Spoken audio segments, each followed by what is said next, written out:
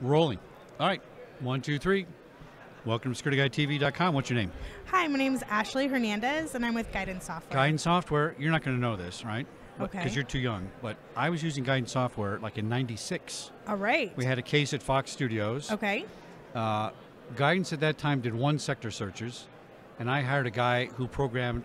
We did some program, We were doing three or five sector searches, and then he contributed to, to some open source code things you guys had back in the day. That's awesome. And EnCase became the standard. It's been the standard forever, and I just love the product. It's fabulous. So I go back that far. All right. Well, I don't go back as far, but I've been with Guidance since 2003, Yeah. when I was like 10.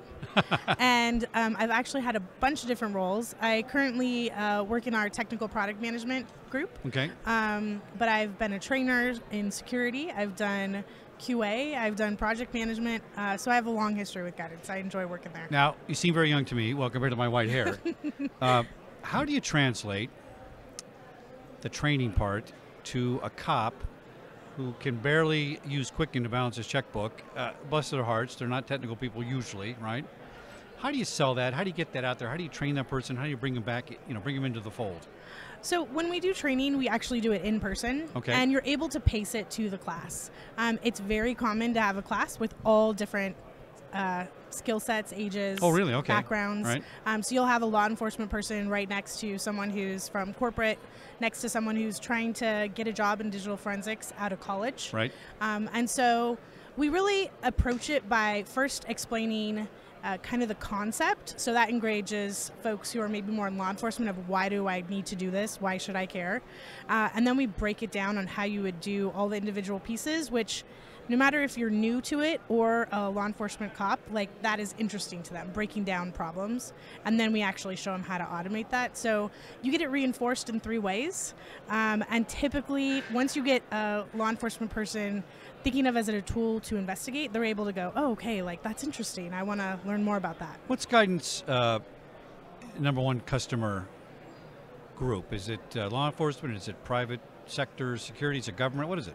Uh, so we actually have customers in all of those groups. Um, I don't know that I have an exact uh, distribution, uh, but we have a large number of customers in government, in law enforcement. Those are kind of more similar customer types. Okay, right. And then we have corporations, and we have um, you know more private sector or Probably legal too. I guess a lot of legal stuff. Legal with our e-discovery Yeah. tools. Um, so we have customers in all the different the different segments, um, and we have tools specific for each of those segments. Oh, so interesting. While we do do forensic security, that's a big portion of our Right. business, whether that's traditional law enforcement forensics or more security incident response, uh, especially for corporations. Um, that's a probably three quarters of our business. We also have a, a good portion of our business geared towards e-discovery as well. But mobile Mobile's is where new, it's at. uh, especially for law How long has it been new for you guys? So we, well, we did have a mobile product a long, long time ago in a galaxy far, far away called Neutrino. Um, I was on the team that actually was part of sourcing like fishing bags to hold all those cables. I know everybody remembers having a thousand cables. Um, and so we had Neutrino for a while. Um, but as the market changed, um, we weren't focusing on mobile for quite a while. We did Oh, really? some smartphones, we did Android phones, um, but our support had lagged, and we knew that um, we were getting requests and feedback from our customers that, you know, for law enforcement, caseload is shifting. I hardly Ninety use- percent is I mobile. hardly use my desktop. yeah, I mean, Yeah. personally, I carry around my my iPhone. I'm a Mac girl. Yeah. Um, I carry around my iPhone, and my life is there, and so Right. is it for most people. Right. Um, and I do most of my business off of my phone as well. So not just for personal law enforcement crime reasons, but also for corporations. Legal risk is on those phones, you know, and so mobile's a huge amount of our casework. Right. So, what's the thing? What do you do now for them? What's what's your new? All right. So we just came out uh, with a new release uh, this quarter. Uh, it's actually available for pre-sale, but it's coming out. Of Encase Mobile Investigator. Um, I like the way that sounds. right? We like the investigator word. Yeah. Um, but for our current customers um, who own Encase Forensic or Encase Endpoint Investigator, they're able to take advantage of mobile acquisitions across all the smartphone types um, and other devices, as well as things like JTAG and binary files that they might have, or even importing from other uh, mobile cases they have into Encase. Uh, included for all of the forensic and endpoint investigator users. The new product, EnCase Mobile Investigator, is an additional add-on that's really geared at mobile investigation. So. Okay. Uh, some of the great kind of key standout features that it has um, are some amazing reports because really you don't care what you can find unless you can show it to someone. That's true. yeah, they don't understand. Gotta start there. Right. Um, other kind of unique features is we go ahead and when you pull in the uh, acquisition data from any of your phones, uh, you're able to go ahead and um, sort all of that into different categories. So if it's a case that's just images uh, or images and multimedia, Which is difficult to sort. right? Yeah. You, it'll process that up front into a couple categories, and you can choose just export all the images and export all the multimedia files, or export all the images and multimedia files I've reviewed and found to be, you know, uh, noteworthy. Yeah. Um, and then another feature that's interesting is the ability to do OCR on images. Oh, on images. Oh. Yeah, so if you've ever gone to, I go to IKEA. This store is where I can never remember what I want. So I just take a picture of all those tabs Yeah. of A22, B17. Um, OCR allows you to actually extract the text out of those tab, out of Oh, those fa- pictures, image. Out of the images. Wow. And if you think about how many people use, I'm using IKEA, but also I write myself notes, or Sure. you have a meeting on a blackboard or a whiteboard, not a blackboard anymore, a whiteboard. That's right. uh, you take a picture of the notes. If you can transcribe that into text Right. uh, using OCR, then you can actually search it, which is part of the indexing that happens uh, as an option for processing. Now, I, it probably doesn't do this, but I want you to put this in your next development. Uh, I like okay? ideas. So what would be really cool is if I if I was a corporation and I I'm uh, I'm paying for your phone, I want to put Encase Mobile Investigator on your phone now, and so everything you do, I just get sent a report, and I got the forensics before I need to go look for them. What do you think? So I think that there are going to be corporations that want to put more on the phone. Uh, one thing we can do is there's pro- uh, programs that you run on your phone that store all that information in the cloud. Right. So even with this current version, we can go ahead and pull off those repositories: Google Drive, Facebook. Oh, that's good. Uh, so those are actually available if you're using oh, those as so productivity you just set those up as separate drives in the investigation. Yeah. Oh, interesting. All right. So um, that's an option. The other is, um, depending on the phone, they kind of work in the ways where each app has its own little world that outside doesn't necessarily see into. So um, you want to make sure that when you're running, uh, you're kind of keeping everything safe and protected. So running an app that would do security, we could probably do things like uh, call logs and text messaging. Um, anything you did with email, you'd still have on your Exchange server. I guess if it went into the cloud, you could your software could run up there and just sort it all now and get it all ready most to go. Most of the data is not Yeah. stored on the phone anymore. So what we want to go towards is like where is the data that you're looking for actually stored? If it's on the phone, yeah, we want it off the phone. But if it's actually in the cloud or anywhere else that apps store it, then we want to get it from there. Can uh, can I buy this to keep track of my son's phone, or is it too expensive? Do I need to be a, an enterprise platform? Um, so you wouldn't buy this to keep track of your son's phone. We don't actively run on the phone. We actually, you know, you plug the phone physically in. no, I know, but I mean, could I, could I get oh, the you wanna- software to, to do that? Or Um, so right now, the way that you would purchase it is you would buy like a single copy of Encase Forensic, and then you can add on the mobile investigator. oh. I see. Okay, So it's actually it's a an very add-on Very smart to our. marketing uh, tool. That is part of how we're doing buy it one for to get the now. other. Very clever. yeah, so it is only available to Encase right. Forensic and Endpoint Investigator customers. Now I saw some other things out here. I, Yeah. I, I can't speak intelligently about it, but a lot of people at this show are an Encase, what affiliate, add-on. You know what? Explain that. So we have partners and other um, vendors here who we work with. One of the things that we've really done as a strategy or as a, as a company is we want to be able to work with other companies.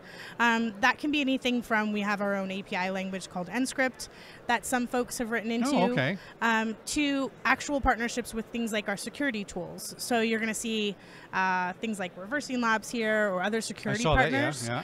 Um, when we have our endpoint security product, we actually announced Endpoint Security 601 here. Um, part of what makes that awesome is we have APIs available. Excuse me.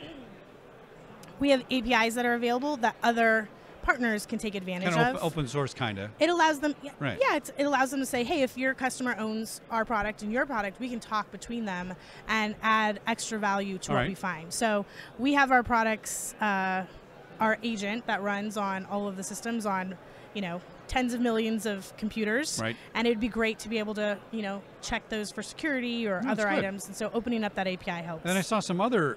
I thought there were other Encase products. Was I wrong? There is. There's a new Tableau product, the Tableau, TX1. what's that? Okay, so the TX1 is amazing. It's a brand new uh, imager, um, and it actually is able to do simultaneous images at the same time. So Oh. if you're uh, law enforcement and you go out in the field and you find three thumb drives, you don't have to, you know, one at a time acquire Right. them each. In addition, it can do um, hashing and encryption all while it's doing the acquisition, so you don't have to wait this whole At the same extra amount of time. I remember Yeah. back in the day, we bought this little yellow box, and you plugged the hard drive, and you closed it, and you plugged it in, and it did kind of one thing at a time. But so this is the same old-fashioned concept, but you're doing, you're you're, you're multitasking. Exactly. you can do two processes at once. Saves so saves a lot of time. it does save a lot of time.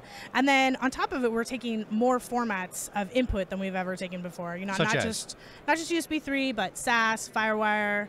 Um, oh, okay. You know, PCIe. Yeah. All of the different types. Network in. How about going backwards? I have saved. I shouldn't have gotten rid of it. I had a, a Televideo 8088 computer, not 28636, 88. Okay, that's how slow it was.